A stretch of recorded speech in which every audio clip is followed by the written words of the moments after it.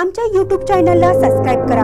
महानकारी news subscribe करा आणि notification on करा. नोटिफिकेशन ऑन केल्यामुळे आमचे अपडेट आपल्यापर्यंत सतत पोहोचेल.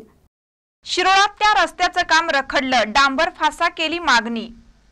विजयसिंह पाटील नगर ते सम्राटनगर हा रस्ता अत्यंत खराब झाला आहे.